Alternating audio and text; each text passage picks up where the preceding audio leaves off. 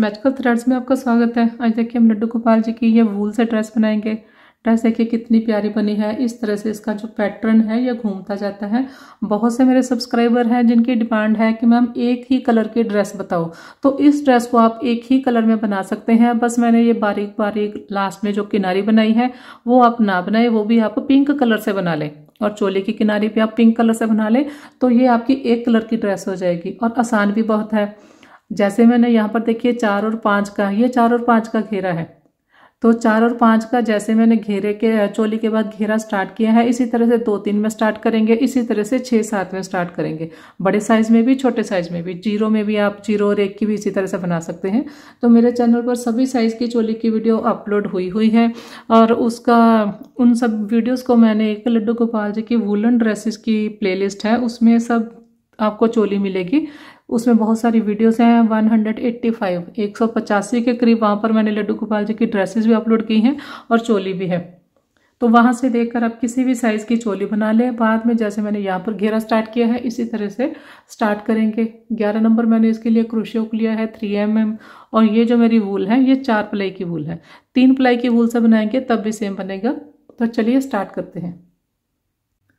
तो यहाँ पर देखिए मेरे पास पाँच नंबर लड्डू गोपाल जी की ड्रेस की चोली है। चोली के लास्ट में देखिए मेरे पास पच्चीस डबल क्रोशे हैं, ट्वेंटी फाइव, जिसमें से चौबीस डबल क्रोशे मैं यूज़ करूँगी ड्रेस का घेरा बनाने के लिए। ये सेंटर वाली जो एक चेन है, इसे मैं स्किप कर दूँगी।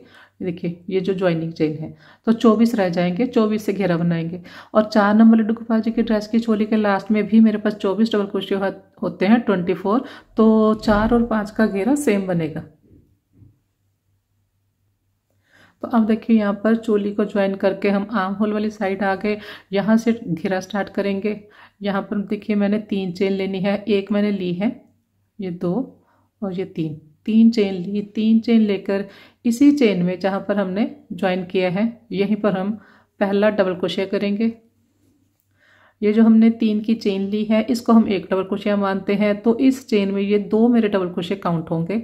फिर नेक्स्ट में दो बनाएँगे, एक बनाया, एक और। फिर नेक्स्ट में दो बनाए, एक एक और। राउंड को इसी तरह से कंप्लीट करेंगे, हर चेन में दो डबल क्रोशे करेंगे। ये देखिए, सभी में दो दो बनाए हैं। ये सेंटर वाली एक चेन मैंने स्किप की है। तो अब देखिए, यहाँ पर थर्ड चेन में स्लिप स्टिच से राउंड को ज्वाइन किया। एक चेन ली। एक चेन लेकर हमने फ्रंट पोस्ट करना है। ये जो हमारी तीन की चेन है, इसी को हमने पहला फ्रंट पोस्ट बनाना है। तो एक चेन लेकर धागा लिया मैंने। यहाँ से इस तरह से इसे उठाया। ये तीन है फ़र्स्ट टू निकाल दिए, फिर दो से एक ही है तो ये हमने फ्रंट पोस्ट किया है, पहली वाली तीन की चेन के ऊपर। अब सेकंड वाला जो है, हमने वो डबल क्रोशिया बनाना है, धागा लिया, इसी चेन के साथ वाले होल में। देखिए, यहाँ पर हमने डबल क्रोशिया किया, एक फ्रंट पोस्ट एक डबल क्रोशिया मतलब ये तीन की चेन के ऊपर हमारा फ्रंट पोस्ट आ गया। नेक्स्ट जो हमारा डबल क्रोशिया है, इसके ऊपर हमने चेन में बनाना था, लेकिन हमने इसके साथ बना दिए। अब हमने धागा लिया, अब इसको हमने छोड़ देना है। नेक्स्ट में फ्रंट पोस्ट करेंगे। फ्रंट पोस्ट इसी के साथ होल में यहाँ पर डबल क्रोशिया फिर देखिए, इस वाले स्टिच के ऊपर कुछ नहीं बनेगा। फिर नेक्स्ट वाले के ऊपर बनेगा। फिर से देख लें। फ्रंट पोस्ट, इसी के साथ होल में डबल क्रोशिया फ्रंट पोस्ट और डबल क्रोशिया देखिए, फ्रंट पोस्ट, फिर इसी के साथ डबल क्रोशिया तो राउंड को इसी तरह से हमने कंप्लीट करना है। देखिए, कंप्लीट कर लिया मैंने राउंड। राउंड को ज्वाइन करना है। लास्ट में देखिए हमने फ्रंट पोस्ट किया, फिर हमने इसके सेंटर में डबल क्रोशिया बनाया। और ये जो हमारा फ्रंट पोस्ट है, इसकी चेन है जो, इसकी चेन में मैंने स्लिप स्टिच से ज्वाइन किया। तो अब आप काउंट कर लें। देखिए चोली के लास्ट में मैंने twenty four double crochet use किए हैं घेरा बनाने के लिए। फ़र्स्ट राउंड में हमने डबल किए थे तो फोर्टी एट हो गए अड़तालीस। अब ये सेकेंड राउंड है, इसमें भी हमने अड़तालीस रखे हैं। काउंट कर लें आप। और काउंट कर ले, साथ में ये जितने हमारे फ्रंट पोस्ट हैं, उतनी हमारी कलियाँ भी रहेंगी। तो ये देखिए, ये एक, दो दो को काउंट करें। एक, दो, तीन, चार, पाँच छ सात, आठ, नौ, दस, ग्यारह, बारह, तेरह, चौदह, पंद्रह, सोलह, सत्रह, अठारह, उन्नीस, बीस, इक्कीस, बाईस, तेईस, चौबीस। तो फोर्टी एट यहाँ पर थे फोर्टी एट का हाफ़ होता है, चौबीस। तो चौबीस हमारी कलियाँ बनी। तो मतलब फ़र्स्ट में भी हमारे पास अड़तालीस हैं और सेकंड में भी अड़तालीस है फोर्टी एट फोर्टी एट अब हम इंक्रीज करेंगे। दो रो में हमने सेम रखे हैं। एक एक चेन लेनी है, जब भी हमने राउंड स्टार्ट करना है। एक चेन लेकर, धागा लेकर, ये जो हमारा फ्रंट पोस्ट है देखिए, इसको मैंने इस तरह से उठाया। साथ में ये जो एक चेन है, इसे मैंने नहीं लिया। इस तरह से मैंने नहीं उठाया। ये एक चेन है जो हम शुरू में लेते हैं, जो अभी ये मैंने ली है। तो इसे मैंने छोड़ दिया एक चेन को, सिर्फ़ फ्रंट पोस्ट को इस तरह से उठाया। यहाँ पर मैंने फ्रंट पोस्ट किया। इसके बाद धागा लिया। यहाँ पर अब हमने दो बनाने हैं, लेकिन इस बार हमने एक चेन भी लेनी है। एक चेन ली फ्रंट पोस्ट के बाद एक चेन ली, फिर यहीं पर दो बनाए डबल क्रोशिया एक बनाया, एक और। फिर देखिए ये हमारा फ्रंट पोस्ट है फ्रंट पोस्ट को लिया। फ्रंट पोस्ट किया उसके बाद एक चेन ली। फिर यहाँ पर फ्रंट पोस्ट के साथ वाले स्टिच में ही हमने हर बार बनाना होता है। एक डबल क्रोशिया एक और। फिर देखिए, इसके बाद हमने नेक्स्ट फ्रंट पोस्ट को लिया।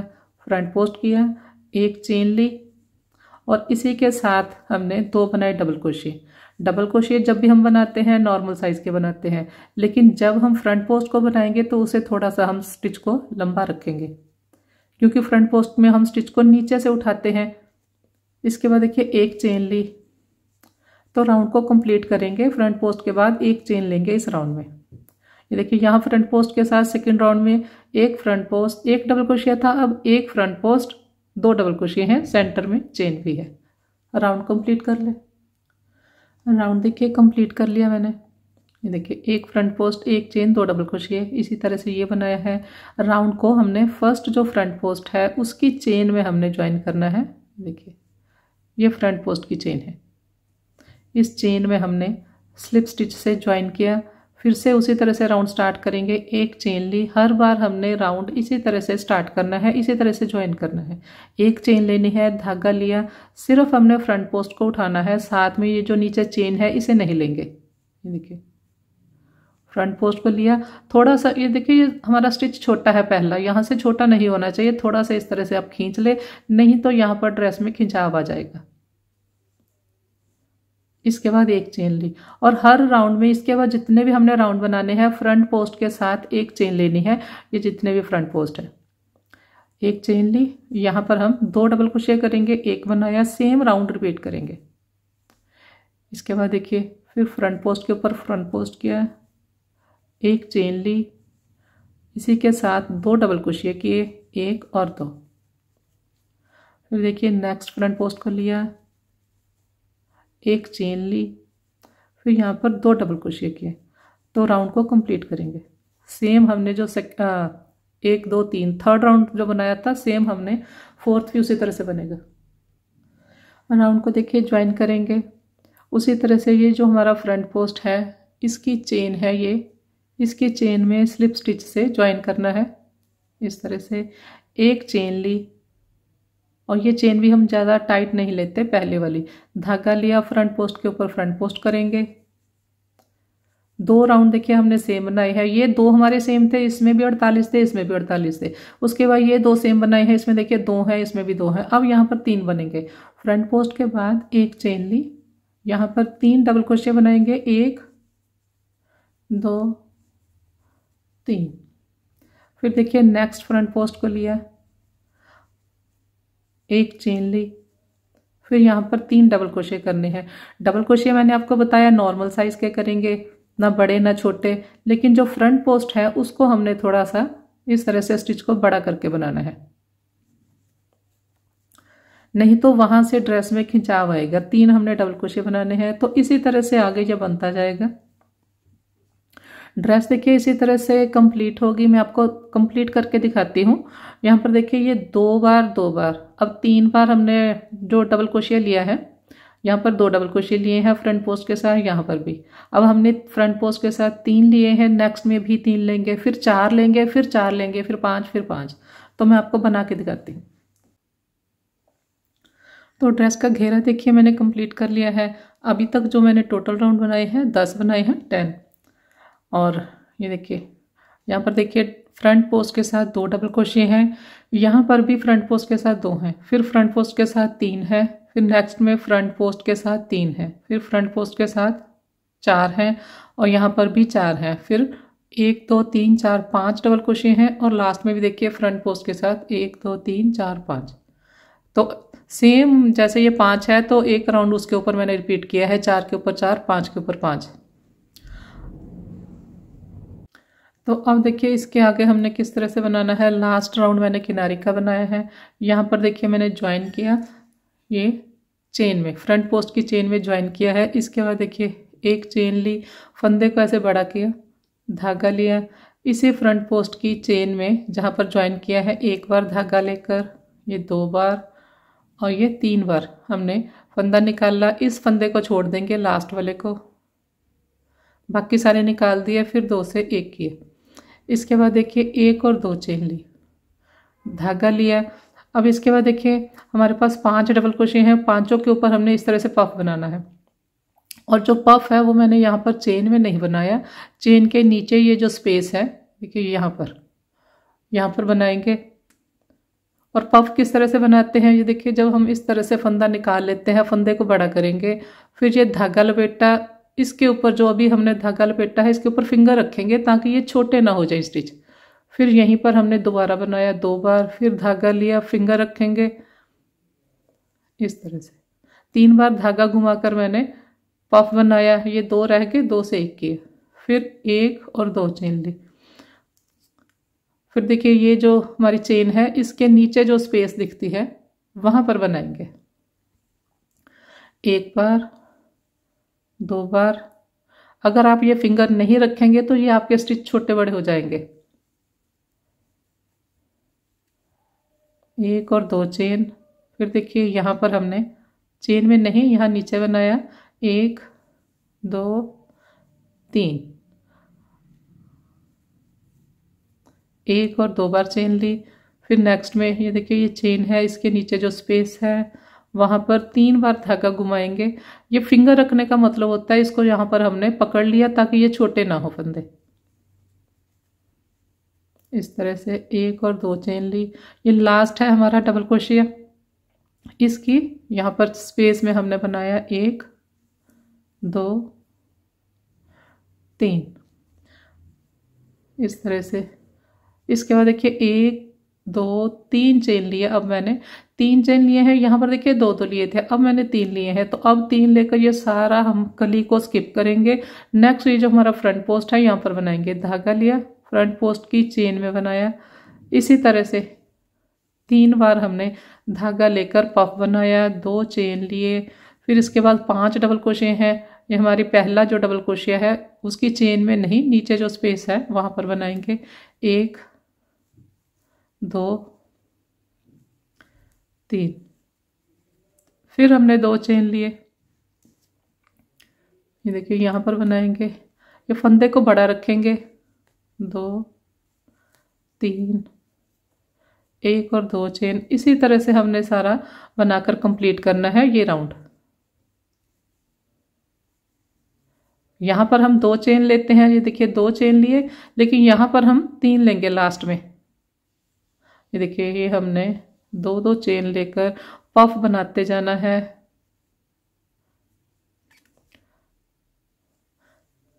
तो यहाँ तक मैंने बना लिया पाँच, हमारे डबल क्रोशिया थे, पाँचों के ऊपर पाँच बना लिए। ये देखिए, और एक हमने फ्रंट पोस्ट के ऊपर बनाया, दो दो चेन लिए।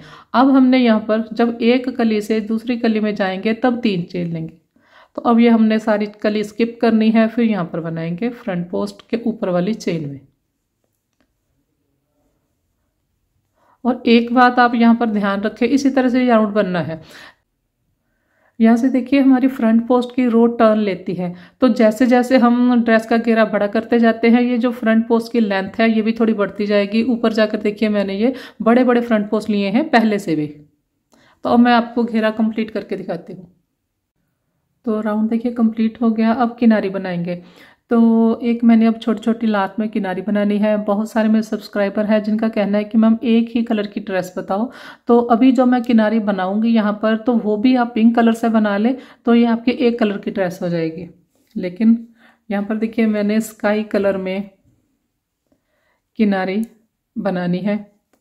देखिए, यहाँ पर हमने ज्वाइन किया देखिए, ये जो हमारे पास पाव स्टिच है, इसकी ये जो बड़ी चेन है, यहाँ पर स्लिप स्टिच से ज्वाइन किया।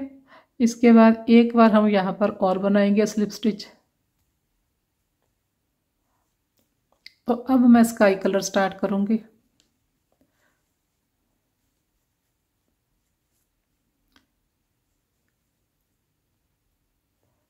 होल में हमने स्लिप स्टिच किया, एक चेन ली, यहाँ पर हमने पहला सिंगल क्रोशिया किया। सिंगल क्रोशिया बनाया, उसके बाद एक, दो, तीन चेन लिए, इसी होल में फिर से सिंगल क्रोशिया किया। मतलब एक होल में मैंने दो सिंगल क्रोशिया किए हैं। अब देखिए नेक्स्ट में सिंगल क्रोशिया किया, एक, दो, तीन चेन लिए, इसी में फिर से सिंगल क्रोशिया किया। फिर नेक्स्ट में जाएँगे, सिंगल क्रोशिया बनाया, एक, दो, तीन चेन लिए, फिर से सिंगल क्रोशिया किया।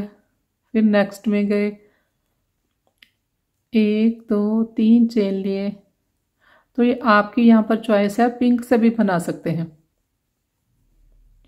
एक, दो, तीन चेन लिए और यहाँ पर मैंने सिंगल क्रोशिया किया। अब इसके बाद देखिए एक चेन ली। देखिए लास्ट होल में हमने बना लिया, एक चेन ले, लेकर अब हमने इसको ज्वाइन करना है। ये जो हमने सेंटर में पूरी कली छोड़ दी थी। तो पाँच है मेरे पास यहाँ पर सेंटर वाला जो थर्ड है, उसको लिया। साथ में ये जो हमारे पास पिंक चेन है, इसको भी साथ में लेंगे, इस तरह से। यहाँ पर मैंने सिंगल क्रोशिया किया। इसके बाद एक चेन फिर से ली। फिर हम ये होल में जाएँगे पफ के बाद। सिंगल क्रोशिया तीन चेन सिंगल क्रोशिया फिर सिंगल क्रोशिया तीन चेन सिंगल क्रोशिया फिर देखिए सिंगल क्रोशिया तीन चेन लिए सिंगल क्रोशिया किया। नेक्स्ट में सिंगल क्रोशिया तीन चेन बनाए, फिर सिंगल क्रोशिया किया। सिंगल क्रोशिया, तीन चेन, सिंगल क्रोशिया। अब इसके बाद हमने एक चेन ली। एक चेन लेकर ये सेंटर वाली जो चेन है, इसको लेंगे और साथ में इसे भी लेंगे। ये देखिए, ये वाली चेन को भी लिया। और यहाँ पर मैंने फिर से सिंगल क्रोशिया किया, फिर एक चेन ली। इसके बाद फिर ये पफ के बाद जो होल है, वहाँ पर बनाएँगे। राउंड को इसी तरह से हम कंप्लीट करेंगे।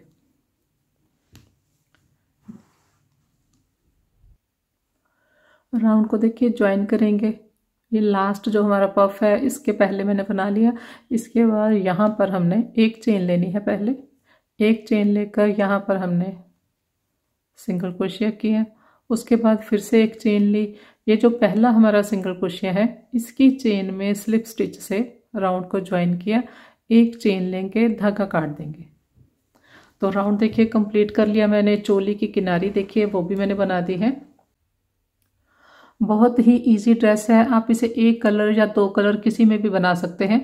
एक में बनानी है तो ये जो साइड वाली किनारी है, ये भी आप पिंक से बना लें। और आप इसे बाकी नंबर्स में भी आसानी से बना सकते हैं। जैसे मैंने यहाँ पर स्टार्ट किया है, इसी तरह से दो तीन में स्टार्ट करना है, इसी तरह से छः सात में स्टार्ट करना है।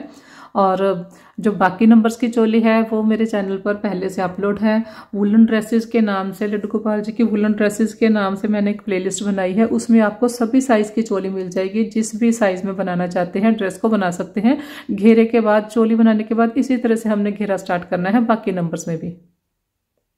वीडियो पसंद आए तो लाइक शेयर और सब्सक्राइब करें। Thank you